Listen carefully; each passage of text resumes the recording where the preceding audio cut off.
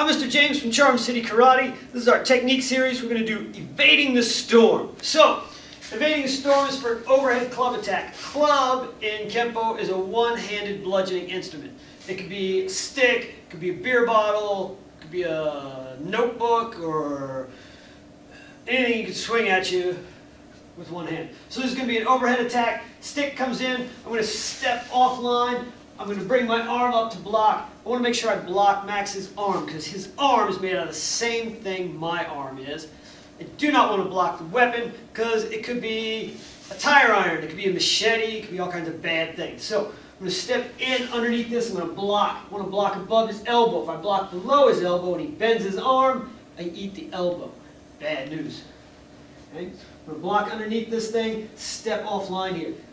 Then I'm going to grab this arm pull down on a diagonal to check. I'm going to throw this nice roundhouse kick up underneath in here, hit him in the bladder, plant, pivot. I'm going to punch him in this floating rib area over here, try to get a nice check.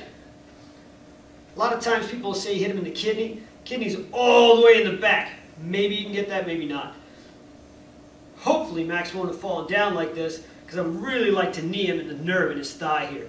But if he already fell, he already fell. Then I'm going to pivot again. I'm going to drop my shin across his Achilles tendon. Then I'm going to cover out. All right, so the club comes in. I step offline and block. I'm going to grab this arm, kick, punch, knee, drop this shin, and then cover out.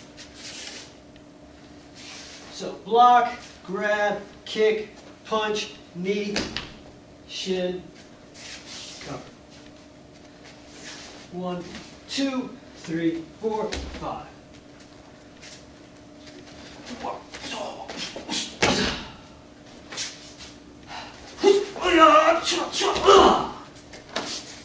All right, so Mr. James. This is Mr. Max. That was Evading the Storm. Practice. We'll see you in class.